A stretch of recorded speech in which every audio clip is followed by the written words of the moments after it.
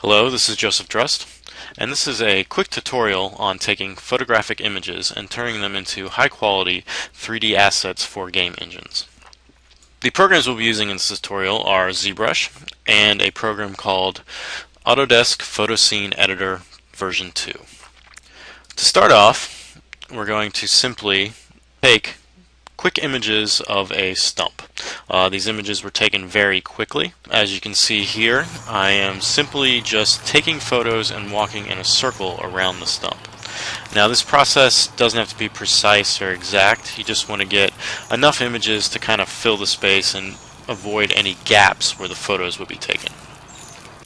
Now once you have those photos all created, you'll have them loaded in a folder here. And the first thing we want to do is load up the Project Photofly photo scene editor. And in here, when you start it up, you'll have a thing that says Get Started, Create a New Photo Scene.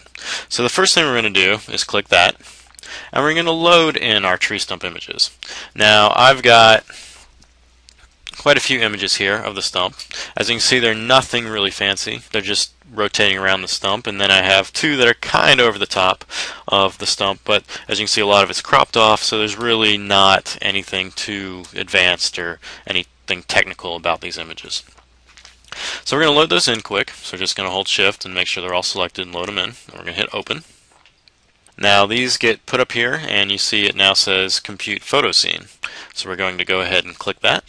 And you have an option to wait or have it email you. Um, if you have it email you, it will upload the stuff on your own and then send you an email when it's done. Um, for this tutorial, I'm just going to click the wait button. As you can see now, it starts processing the data. And what it's doing is it's sending these images to the cloud server from Autodesk and then loading them into a scene for you. So it's doing all the processing power of combining all these images together off-site. So it's not on your machine taking up your processor uh, power.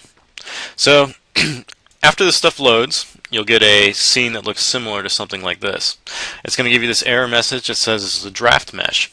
And basically what this means is that you have the option here to select or deselect areas on the surface of this mesh to tell the program which objects you want occluded from the final calculation. So just going to OK to that.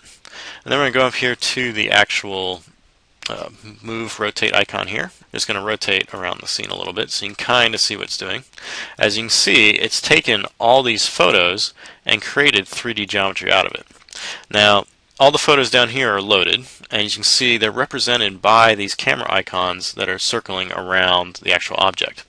Now this line that's coming from these cameras shows you how the photos were taken. So the start photo was taken from right here, and you can see it continues all the way around the line. And then I came back up and took a few here and one here.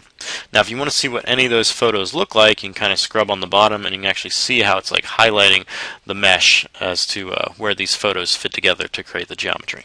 If you have something in your scene that you don't want, so like if I didn't want this area over here, now is the time that you select the stuff you want to generate.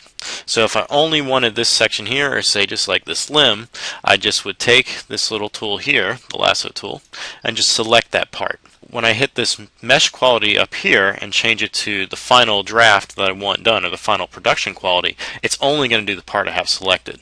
So since I want this whole base generated, I'm just going to deselect everything and just make sure none of it is selected right now. But if you end up with a lot of artifacts outside the space or stuff that looks really weird, just select the stuff you want and then click this button. So now we're going to come up here to where it says Mesh Quality Draft. And we're going to click that and an option box will come up and it'll ask you what kind of quality you want to output mobile standard or maximum now standard resolution is about 120,000 triangles and maximum is about 500,000 triangles I haven't done a test with mobile so I'm not sure how many triangles it actually would be but standard and maximum work pretty well so for this mesh for the stump, since we're doing it in game, if we want to bake it out to normal maps or get like, you know, really good quality maps out of it for just the structure of the geometry, we're going to choose maximum. And we're just going to hit OK. it's going to tell you here that we don't have any selected in the mesh. This was the thing I was showing with the lasso. If I had a part selected on the mesh, it would only do that part. And so it's telling me now that no selection was made, so the entire photo scene would process, and that's fine. So I'm just going to hit OK. And then of course it has you to create the scene again and ask for your email because it will send you an email reminder if you don't want to wait for this. Um, for this tutorial again, I'm just going to click wait. And now you can see it goes back to the scene editor up here. And so now it's loading in the high quality model that it's sent, it sent the draft to the server along with the photos. The photos and stuff were calculated into a higher polygon mesh and then sent back to your machine. So this is now loading in this high quality mesh that should be roughly about 500,000 triangles. So here we go, we're back. As you can see, it has loaded in the higher resolution version of the model that was created from the images. There's a lot of programs that are on the internet right now that will actually generate uh, geometry like this from stereographic images. Uh, one of them called Agisoft, StereoScan, and PhotoScan does a little better job with the geometry reconstruction, so you'll get like some a little bit nicer kind of uh, high-res mesh details. This program though, hands down, has the best diffuse quality as any of the ones that I've found so far.